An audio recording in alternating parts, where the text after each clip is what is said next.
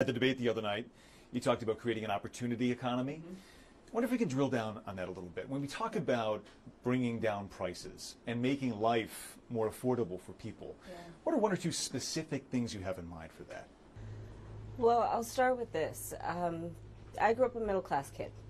My mother raised my sister and me. She worked very hard.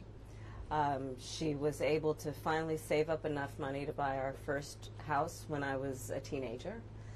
Um, I grew up in a community of hardworking people, you know, construction workers and nurses and teachers. And I try to explain to some people who may not have had the same experience, you know, if, if a lot of people will relate to this. You know, I grew up in a.